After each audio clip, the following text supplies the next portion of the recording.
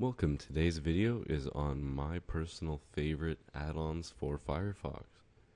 Now, if you do not have Firefox already, just go into Google and type Firefox, and it should be the first link there. Or alternatively, you can go to mozilla.org slash en-us slash firefox slash new. And then just download it for free. It's a free web browser. It's one of the fastest I find by default it's installed with Ubuntu so that's what I'm using on here right now. Now for the first add-on I will post all these links in the description for later downloading.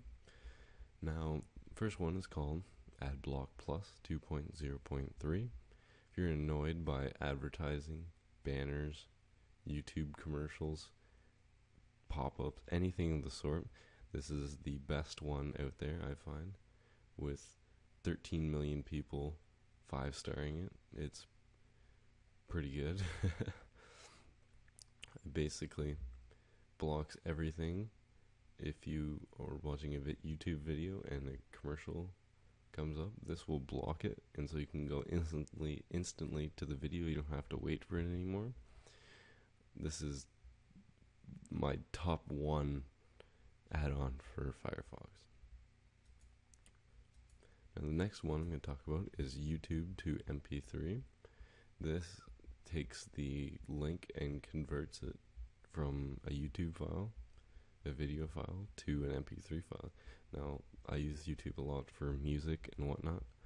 So if I want to put it on my iPod, I just go to YouTube and underneath the video, as you can see, that's the little timeline bar it's just right under that and you can click H uh, high quality or you can just convert it normally and then it will redirect you to a new page and where it will convert it and then you can download it.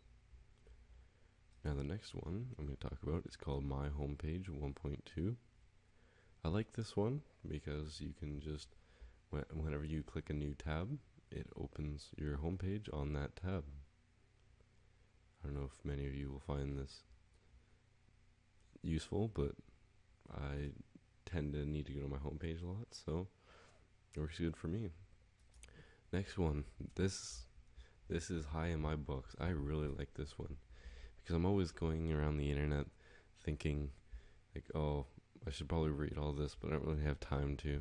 So this one's called Read Later 2.1.4.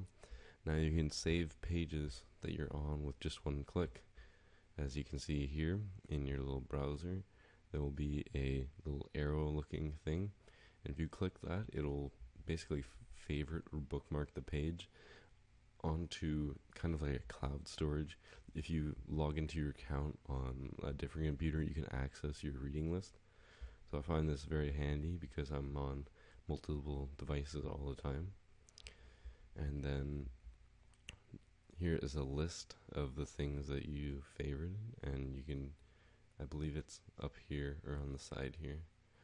And then it's just a little drop down list and says and you can check off the ones you you've already read and whatnot. Keeps you pretty organized. Next one's called turn off the lights. I don't know if this is very useful but it looks kind of cool. Gives you a little more emphasis on your video.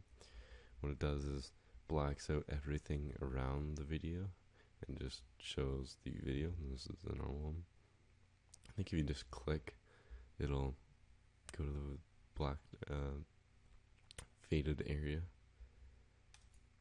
Next one's called Tiny URL Generator, and what it does is, with a click of a button at the bottom of your browser, it allows you to create a tiny URL. What this does is basically you take along a link that you want to say send to your buddy or whatever without it being all cluttered you can just click this and it'll make it smaller.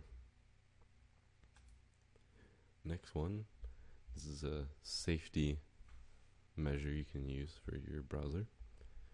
It's called WOT safe surfing.